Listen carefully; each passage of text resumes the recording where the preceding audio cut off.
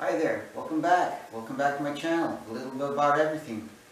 Um, for those who are new to the channel, um, uh, you can subscribe at the bottom of the screen and you can hit the like button if you see what, if you like the information, you can hit the like button and um, uh, don't be afraid to leave a comment. Um, something that would add to to the subject in a positive manner, okay? Um, okay, so today's topic is nuts and bolts, okay? Um, this is something that you're going to encounter in daily shop life. Every tool you got. If, if I ju just look around the room, uh, doors, they're fastened with they got fasteners, nuts and bolts on them. Everything I look around in the shop, nuts and bolts, right? So uh, they're pretty important and you should have a basic knowledge of these things, right? And um, like, have you ever grabbed a bolt and then tried to thread it in and, whoa, it doesn't go in, what's wrong with this? You know? Well, that's because you need more information on the subject not any nut and bolt will do for, for the application, right? So, um, uh, threads, threads on bolts come in right hand or left hand, right? Tighty righty, lefty loosey, right and left hand threads. Uh, left hand threads are going to encounter in situations where um, the directional, like a spin on an armature, for, for, for, for one thing, um, or a spindle, if it is forward and you have a right hand thread,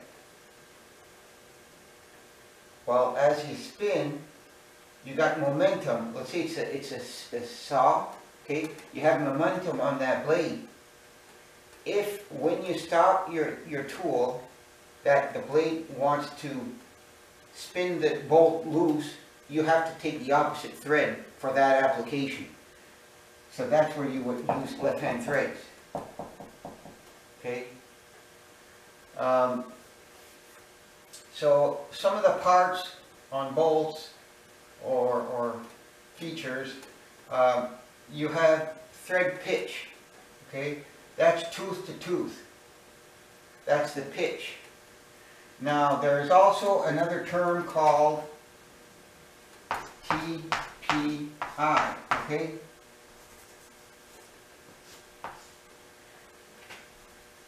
That is thread per inch, okay? And we're going to cover that later, okay? Uh, the top of the uh, of a of a thread is a crest. The bottom of it is a root.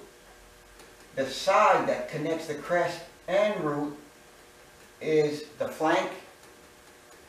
And most threads you're going to encounter are 60 degrees with the exception of acme, square, and uh, buttress. Um, well, there's a lot of them, but those are just a few of them, right? Okay, and uh, from root to root, that is the minor diameter. And from the center of the flank, or where most of the work is done on those threads, is the pitch diameter. Okay, you also have these on gears and racks and stuff like that. The pitch diameter, it's the face, it's the middle of the face where most of the action and strain happens. Okay, and uh, major diameter is from crest to crest. Okay, that's the major diameter. Okay, so let's turn the page.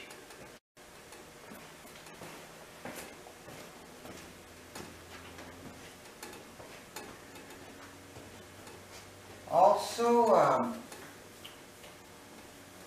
you have the um, National Form threads and met, met, metric threads. These are the two types that uh, are most likely to encounter or uh, American National, okay, National Coarse Fine, uh, National Special, and National Thread Pipe.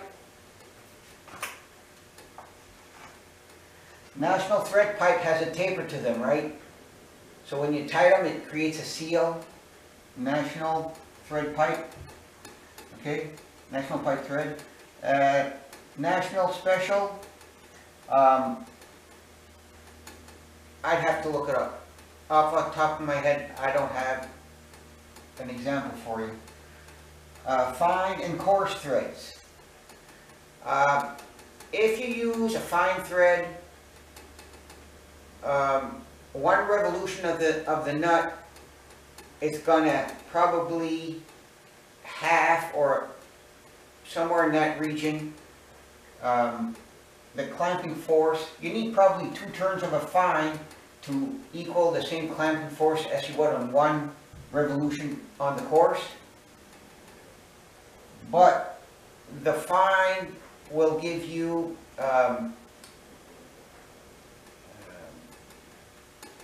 a stronger thread. Because there are more threads per inch okay? So you're most likely to find in high tensile strength application a fine thread than a coarse. But after a certain size it doesn't matter anymore. Not as much. Um, and metric threads um, the threads are all the same, right? Um, um, but I'm going to get to that portion later, okay? I have an example here of a uh, nomenclature or how you would see uh, or ask for a certain type of thread and diameter of bolt, okay? In this case, it's uh, imperial or, or standard. It's not a metric thread, okay? So you got a half inch, and this is threads per inch, as I, I stated earlier. Well, you got 13 threads in one inch. And in this instant, that makes this a national coarse. Okay? Um, the national fine, you might see uh, an 18 here instead, or a 20. Okay?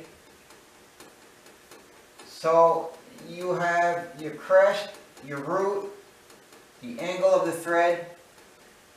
Um, these threads have flat tops and bottoms. Okay? And the diameter, uh, the uh, depth of the thread. Okay? So this is how you would calculate the depth of the thread here. Okay? Uh, you want your pitch, so that's 1 over threads per inch, which in this case is 77 thousandths. So if you multiply 77 thousandths by this number here, you would get 47 thou. So 47 thou is the depth of your thread. From here, you can also find your minor diameter. You already have your major diameter, which is half inch, okay?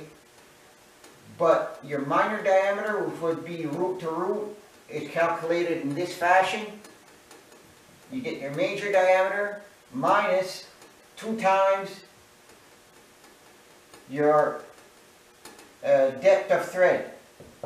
Okay, so minor diameter in this case, 406 thousandths, right? 406 thousandths.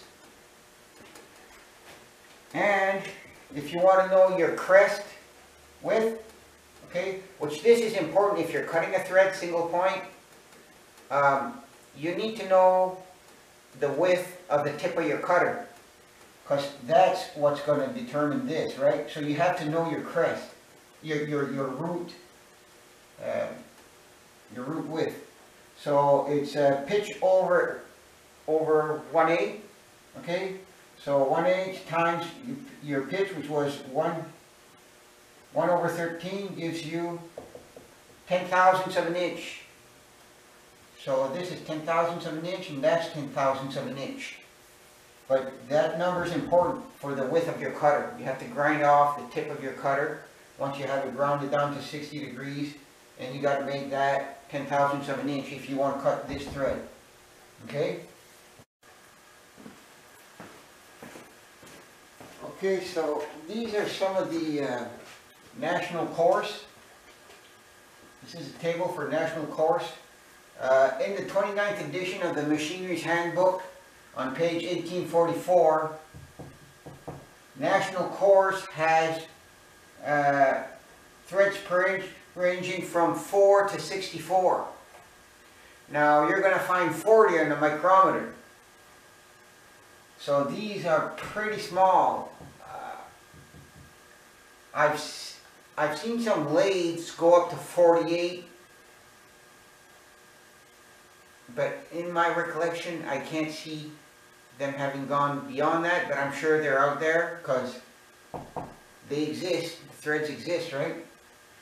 So, um, and when you get to a small diameter like that, like uh, in the knot numbers, right, these are small, these are under one eighth of an inch easy, right? For the major diameters. Uh, a number one uh, bolt would have 64 threads per inch. Number two would have 56. Number three would have 48. Um, and number 12 would have 24 threads per inch. Oh, uh, from the same page, from the Machinery's Handbook, 1844, 29th edition, uh, the National Fine range from 12 to 80 threads per inch.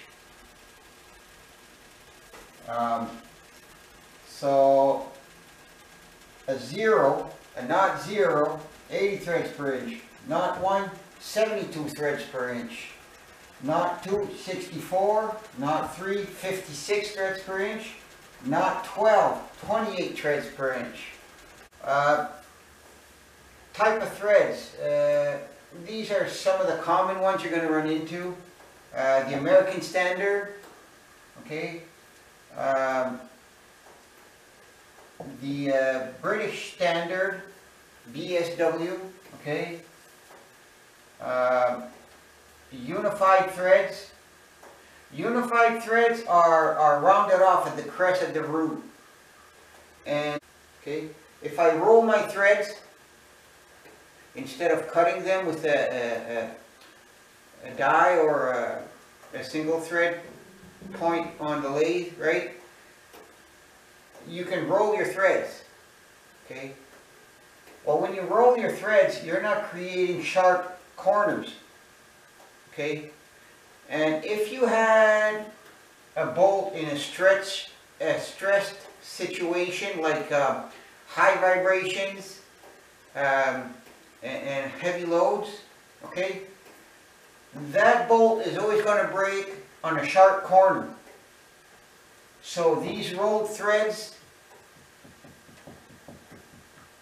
create a, a, a, a less chance of a break or snapping a bolt at a, a, a stressed out corner, right? Because the forces are acting all around here, not just in one spot. So if that was the case and in the root, bolt would want to break here at, at, at the uh, beginning of the threads. That's where it'd want to break, but not if it's rounded off. Because the stress is, is uh, uh, over a larger surface area, okay? And uh, acme threads. Acme threads are look like the square threads I had earlier on on the board, uh, but more exaggerated. And on the lathe, the lead screw is an acme thread. It's 29 degrees, not 60. And uh, Brown and Sharpe was 29. They used to make tools. Uh, you still can run into some of their stuff. 29 degrees. Uh, square threads. Square threads were used for lift, lifts, hydraulic uh, um, lifting situation, like uh, you have some, some uh, jack screws. Some of them were squared on, on hoists and stuff. Uh, the older stuff might be square, but now they, they've gone over to Acme. Uh, spark plug threads, not common. Uh, the angle isn't 60 on, on a spark plug thread. The- These are, are are different, you have to look it up. Um, and fits and classifications, like, there's normally like three fits to a nut and bolt, okay? Uh, to, to, to the nut, okay? While a class one is a loose fit for like farm implements, if, if you drop it in the dirt or something and there's grease on it and you pick up some sand, you can still turn, turn that bolt in, right? Now, number two, it has a tighter clearance, okay? Um, which is most of what you're gonna run into. And a three is a precision fit. Now, you would use a, a precision fit on something where you don't want any, any slop, like a precision tool, like a lathe or something, or a, a certain instrument. You have to know what the grade of your bolt is, okay? This is the uh, Unified National Coarse or Fine or, or American Standard or, or, or whatever. They're, they're all gonna have markings on, on them. This isn't the metric yet, this is only the imperial stuff, right? Okay? So, and I hope I'm not mismatch, mis, mis, mismatching uh, terms there. Um, so tensile strength, okay? How much strength can you put on a, a bolt before it snaps, right? The more you clamp down, the more pressure is pulling that bolt apart, okay? Well, these are some of the values, okay? Uh, like a plain old SAE would be probably just plain old steel, no heat treatment, no nothing, right? No forging, no nothing. Uh, it- it's 60 to 74,000 psi, okay? Uh, a grade 5 bolt, which is very common, okay? Uh, 90 to 120,000 psi, pounds per square inch. So you have to take that into account. If you had an inch, you could put that on it. If you had half an inch, you can put 60,000 on it, right? So you have to keep that in mind, pounds per square inch. Okay? Um, what I mean by that is, if you have an inch bolt, you can put 120,000 pounds on there before it snaps. Well, if it's only half inch, you can only put 60,000, which is half of that. That's a grade five.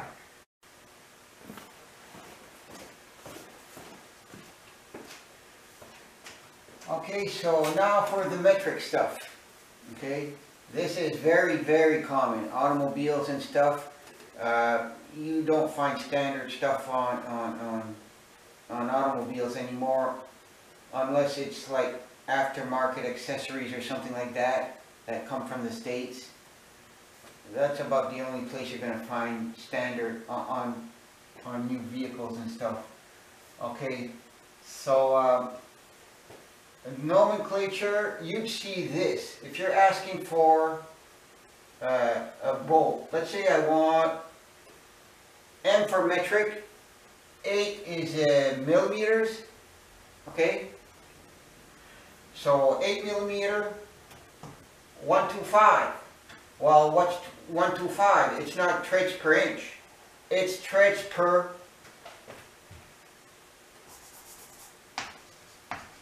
millimeter. So there's no finding the pitch one over the number of threads per inch, right?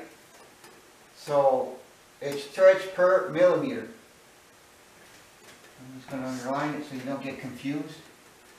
Uh, so the depth of thread, there's a constant which is fifty-four, one twenty-seven, point fifty-four, one twenty-seven times the pitch, which in this case is just 125, so it's easier, okay?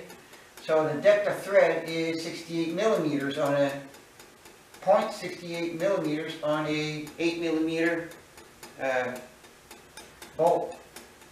So the minor diameter, same formula, you take your 8 millimeter minus 2 times 1 depth, which was 68, we just found it, 0.68. So you get, uh, that is your minor diameter, 6.64 millimeters, okay? And uh, the crest, the, the root and the crest are not the same. Um, for the crest, you're going to use 0.125 or a quarter times the pitch. So that's the, the, the crest width. Now, if you're cutting a thread single point on the lead, you need the root width. That's the width you're going to you're going to put on your cutter tip. 60 degrees either side, and the width of that tip that you're going to grind off is going to be a quarter of the pitch. Quarter of 125 is 0.31. That's what you're going to put millimeters. That's what you're going to put at the end of your cutter, okay? Same as before, you got to have certain grades of metric bolts, okay? This is an example of what you would see on the head of the bolt, 8.8, .8, okay? And uh, that's for tensile strength, pulling it apart, right? Because a bolt's a clamping, uh, clamping tool. So, a thousand psi is equal to 6.1, 6.8948 megapascals, okay? And one megapascal is equal to 145 psi. This is in megapascals, so if you have a, a 12.9 rating on your bolt, you got a 1200 megapascals rating, which is very strong, or, or tensile strength wise, and uh, 10.9 is 1034, 88, like that one would be 827 megapascals of tensile strength.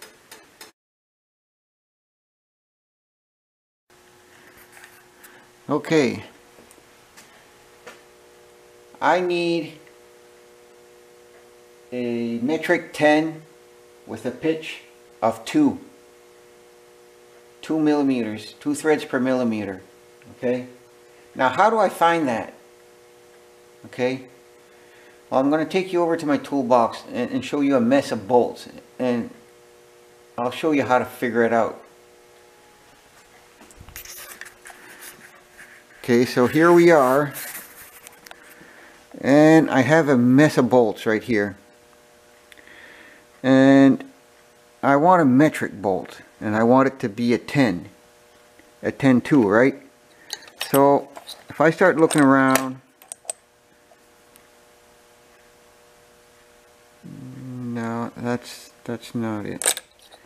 I, I can sort of tell, like, the diameter's got to be 10 millimeters, right? And this is a carriage bolt, so that's not it.